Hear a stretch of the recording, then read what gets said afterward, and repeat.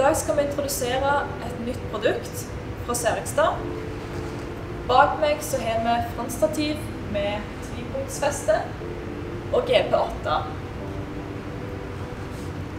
Her har vi SmartFlow. Det er et nytt system for eh, tilsetting av ventileringsmiddel. SmartFlow består av en betjeningsenhet og en baseenhet. Betjeningsenheten plasseres i traktorhytta, og kommunikasjonen mellom disse to enhetene foregår trådløst. Det er en integrert løsning med hurtigfeste og hurtigkoblinger som gjør det veldig enkelt å montere og å flytte mellom utstyr. SmartFlow er tilgjengelig i tre ulike versjoner. Her har vi en til GP-serien, og så har vi en til MP12 og en til MP17. Baseenheten består av en elektrisk stengeventil som sørger for å låse av væsken i slangen. Den består òg av flowmeter som sørger for nøyaktig avlesning av flow. Tillegg har vi strømtilførsel til Bø og strømtilførsel til selve basenheten.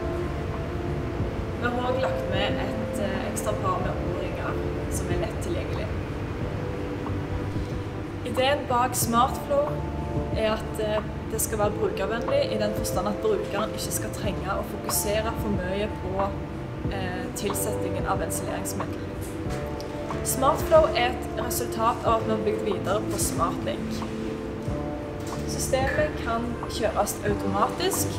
Da ved at han henter signal fra ISO, traktorens ISO-kontakt. Da henter han PTO, kjørehastighet og trepunktsminuttarbeid. Da kan, en, da kan ensileringsutstyret starte og stoppe automatisk. Det er òg mulig å kjøre systemet manuelt. Tida ifra en trykker start på SmartFlow til det faktisk kommer ensileringsmiddel ut av syrebommen, er veldig, veldig kort. Årsaken til det er at vi nå benytter en elektrisk stengeventil. Den sørger for at væsken blir låst av høyt oppe i slangen. La meg demonstrere.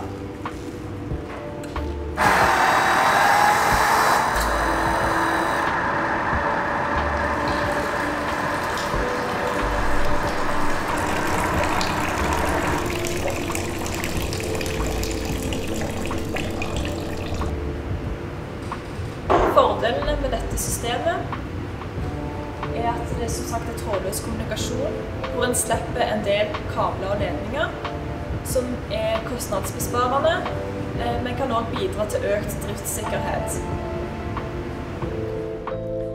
Ta kontakt med din lokale forhandler for tilbud.